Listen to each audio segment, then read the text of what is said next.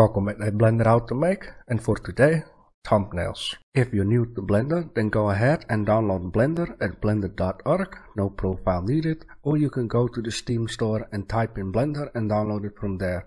Both links will be in the description. Before we start, I'll show you what you will learn for today.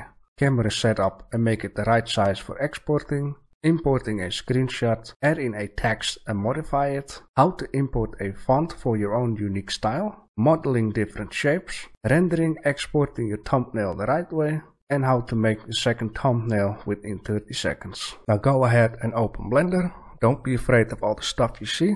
If you follow the steps correctly, things should be fine in the end. Since this is an easy tutorial, I just want to say two things to the new people. One, I got a tiny little display over here. You can see if I right select this camera down here, it will show I use it the right mouse button. And with this, I come to the second thing. This program uses the right mouse button to select things. If you select by accident with the left mouse button, you will move this spawn orb the spawn orb will spawn in all kinds of stuff. You want to have it on grid mode as much as possible. It will make sense later on. In order to place this back, press Shift S and choose cursor to center. With this being said, let's start the tutorial. The first thing you can do is select this lamp, press delete and click OK. You can do the same with this cube, right mouse button on it, press delete and OK.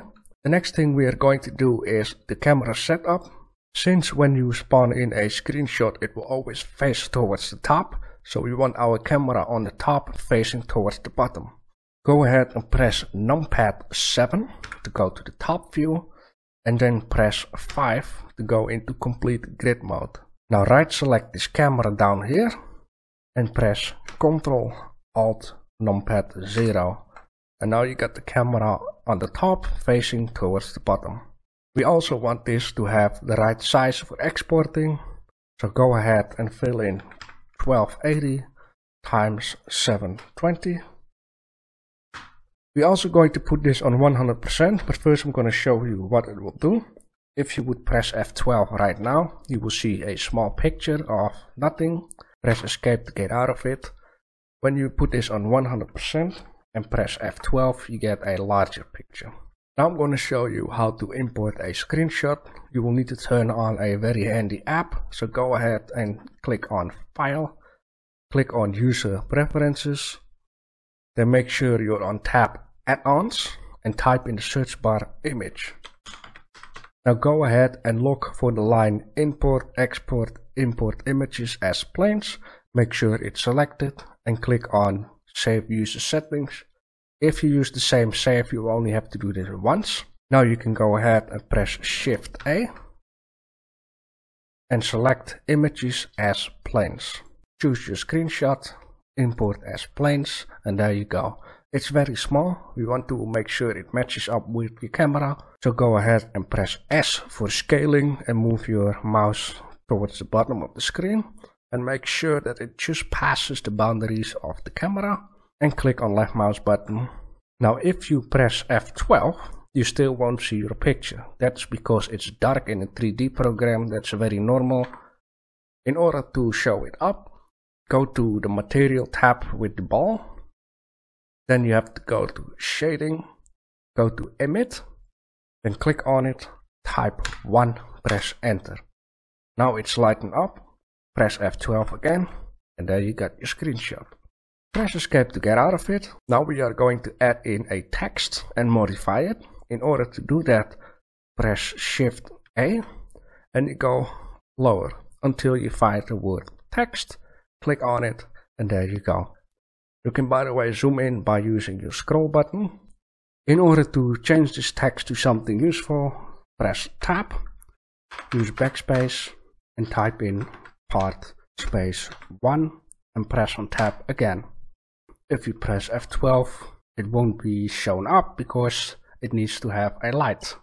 You're going to light this thing up, you don't need to press on new because by default if you click on this ball it already have one material.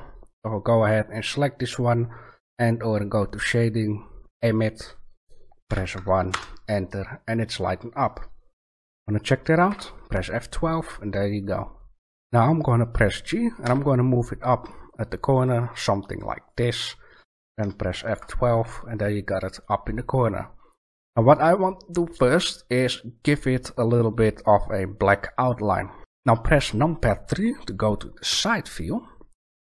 And then you can scroll to left and right while holding Ctrl and move your scroll. Or you can go up and down by holding shift and move your scroll. In this case, zoom in for a bit, something like this. Press G, press Z to lock it for up and down. Then hold Ctrl. With this, you can move it on grid mode. If you don't hold Ctrl, you can move it a lot smoother. But in this case, I'm going to move it up till here. So there's one block left. And we're going to give this a thickness. Go ahead to the F tab. Go to extrude. Then type in 0.010. And there you go. It has some thickness. It will make sense later on why you have to do this. When you press numpad 0, you can go back to the camera mode. First thing we're going to do while selecting this text, press Shift D. This will duplicate it. Then press Escape to leave it on its place. The first thing we're going to do is make it black. With this material being selected, you want to press plus. Because if we use the same one, make it black, the other text will be black too, and that is something we don't want. After you pressed on plus, it will say material 001. Then you can go ahead to this white part down here, click on it, and drag it down until 10 or 11. Now it will overlap the white one. So in this case, we need to change the thickness. So change this extrude to 0.005. And now the white part is back again.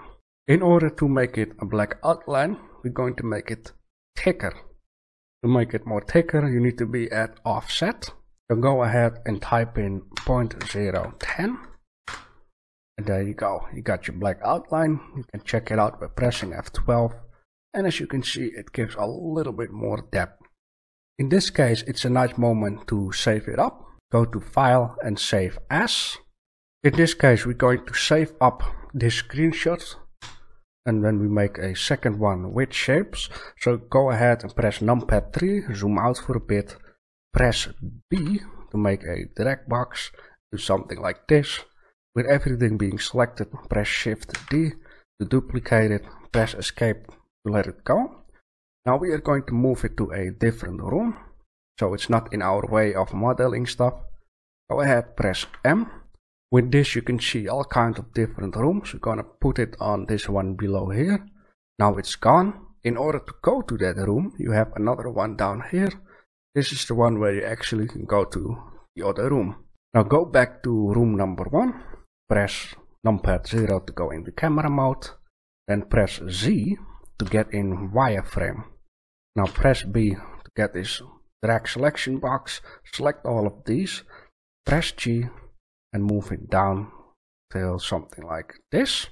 Now I'm going to show you why it's important to have this spawn orb exactly on grid. Go ahead, press Shift A. We're going to import a plane because we're going to make some nice shape. Press G and Y to move it down to something like this. We're not going to do this in camera mode, we're going to do this in top view mode. So go ahead and press numpad 0 so we are in top view mode. I'm going to show you a few things with modeling. The point is we need to move these two orbs all the way down here, right? Which in case means if you press B and select those two, press G and press X to lock it. If you move this one here, you will need to move the other ones there. And we don't want to do double work. So in this case, press B, select those ones, then press G press X and make sure these ones are perfectly on the green line and don't forget to hold Ctrl while moving this so it will always be on grid mode. In order to not make this double, we're going to add in a mirror. You can do that by this tool, then click on add modifier, then click on mirror and you straight away see that it added another part down here Anything else, we're going to go back to camera mode by pressing numpad 0. In this case, I want to get out of this. You do that by pressing tab to go into edit mode or out edit mode. I'm going to make it a little bit thinner by pressing S, pressing Y, and just something like this. I don't want to make it huge. And press B and select part 1. Press S to scale this to till something like this. Press G, press Y and kinda eyeball this out. You don't have to grid everything up. Then select this shape again. Go into edit mode by pressing tab. Unselect these by pressing A. Then press B. Drag it over those two dots. Select them. Now we're gonna do something different. We're gonna add in another part by pressing E of extrude. Make sure you press X to lock it like so and then place it somewhere down here now what I want to do is have the same space as between here. I want to have it down here. Go ahead, press B to select the other ones too. Press G, press X to lock it. It's a lot of stuff guys. And then move it somewhere around here. You have to eyeball this all out to make it yourself easy too. What we're going to do now is select everything like so. Then we're going to shift the duplicate then press escape to let it go. Press G to move. Press Y to lock it. And then just move it all the way up until something like this. And now we need to fill up this gap. And I'm going to show you very easily how to do that. After I scaled this a little bit down. Because the top we don't going to add in text. So this one can be a little bit thinner. And then I'm going to remove it remove, not like deleting it, just removing it. Something like this would be nice. Now we're gonna fill up the gap. There's one easy way to do that. Press B to select those two. Press B to select those two. I only have to press F to fill in the gap. There you go. Got a nice outline. Press F12 to check it out. It's black, yes. Now I'm getting out of it. So what we're gonna do, we're gonna give this a color. So go ahead to the material tab by clicking on this ball. Since we have no other ones we can use, just click on new. And then I'm going to go ahead and make this yellowy with a tiny touch of orange. Like so. When you press F12, it's not showing up because we need to light it up. Go to shading, go to emit, press 1 enter press F12 and there you got a nice outline in this case before I'm going to change this standard font for a unique font which is found on the interweb we first gonna give this a different name what I always find handy is open WordPad and there I want to type in what I want to have as text in this case Far Cry 5 double dot cheeseburger. I'm going to copy this text very easily. Then I'm going to right select one of these text in here.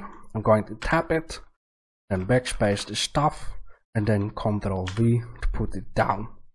I'm going to do the same with the other one. Just select this, going to tap, backspace, Ctrl er V, tap to get out of it.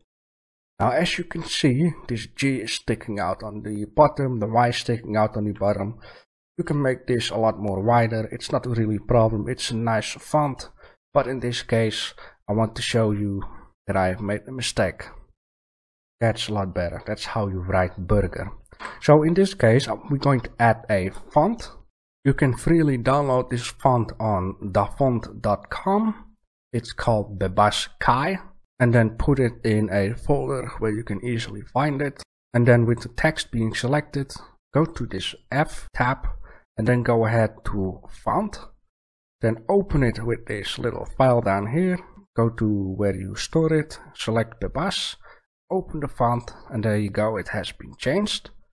The other text, select it, then go to this F down here. Since you already added, you only have to select it, and there you go. And as you can see, the G is not sticking out and the Y is not sticking out. Then again, the standard font is nice too, but I like this one better. go ahead, press G, press X, and then kinda eyeball this out towards the middle. I'm gonna put it something like this, and then I'm happy. Press F12, and there you go. Now, as you can see, this font has not been correctly at B. That just happens sometimes with some fonts. In this case, we can go ahead and fix it. First thing we will do is press numpad 7. Then go ahead and zoom in. And don't forget, while holding shift you can go up and down. With holding control and mouse wheel you can go left and right. To have a better look of this, you can click on this ball down here and go to select material and then press A to unselect this stuff. You can then again see it's not okay. In this case I'm going to zoom in a little bit more so you can better see it. I'm going to click on materials to see if I select this black one. There we go. I, with this black one being selected you can see the outline but it's not filling up. I already discovered how to easily fix this. Just make the offset a little bit smaller, 9, and you can see it's totally perfect. When you press F12, it's there. And you also have to keep in mind uh, with the size of the text and all that kind of stuff that thumbnails, for example, on YouTube will be shown like this. So you might want to make it a little bit bigger. In this case, it's just for example. Uh, also, you can see that the special outline is gone. There is a reason for that. Just press Z, then select this outline, then press numpad 3, and you can see that it's on the same layer as the screenshot. And I'm going to show you why I moved the text also up. Press G, press Z to lock up and down, and just move it somewhere in the middle. You don't have to grid this. Then go to back to the camera by pressing numpad 0. Then you can go ahead, click on this ball, click on material and unselect this and you will see it stay there. Now go ahead, press Ctrl S to save it if you haven't saved it already. Now before I'm going to show you how to correctly export this to a PNG file, I first want to show you how quick you can change this thumbnail into a second thumbnail Select the screenshot, press delete, delete it. Press shift A, image as planes. I'm going to select boomer, import planes. Import image as plane, make it bigger just outside the boundaries. Then go to material tab, go to shading, make emit 1. There you got boomer. I'm going to go back to my text pad, type in boomer. I'm going to copy that. I'm going to go to my text, press tab, backspace, Control V. You can also select this text, tab, and then Control A. So you select everything, press backspace, then press Control V to paste. Then I'm going to go to Z, press B. I can drag box. So I also select the other one, press G, press X, move it offside a little bit. There you go. I got my second thumbnail within seconds. Now I'm going to show you how correctly export this into a PNG file. Go ahead and go to the render tab. And the only thing you first have to do is you have to select a folder where you want this to be exported. After you have done that, you have to change the timeline because the timeline is really something for animation. And if I click on animation right now, it will poop out 250 of these pictures and I only need one. So go ahead, click on end press 1 so now it will only poop out one frame. Now you can go ahead and click on animation. And there you go. You got your screenshot poop out. And go ahead to the folder which you selected to export the screenshot. And there you go. You got your screenshots for your video ready. And as always press ctrl s to save your work so when you come back, you can easily make a second thumbnail. And of course, there are a lot more ideas to make your own unique thumbnail. You just have to mess around and find your own style. In this case, if you guys have some questions, leave a comment below. If you have some requests for some tutorials, leave a comment below. If this was the video you were looking for, give it a like and subscribe so you will notice when I upload more Blender videos. And thanks for watching. Bye bye.